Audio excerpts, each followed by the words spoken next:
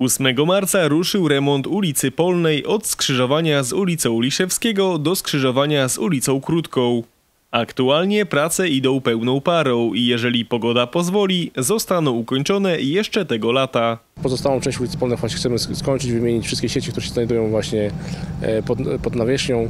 E, Do tego oczywiście nawierzchnia e, typu Polbruk na ulicy Polnej, tak żeby dostosować już wszystkie zjazdy i, i- przejścia dla pieszych, tak żeby to już miało funkcjonowało prawidłowo.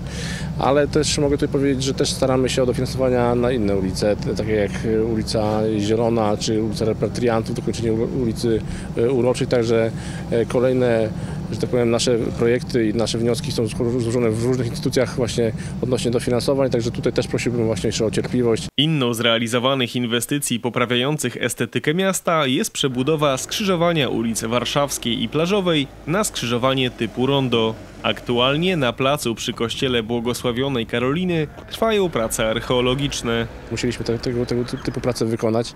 To jest normalna procedura, żeby właśnie e, sprawdzić i, i ewentualnie zachować te e, miejsca historyczne i już istniejące, które się znajdują w tej chwili pod ziemią, ale jednak te prace musieliśmy wykonać. I to jest pierwszy element, pierwszy etap e, tej inwestycji. Następnie już przechodzimy do modernizacji tutaj skweru zielonego przy, przy kościele oraz parkingu.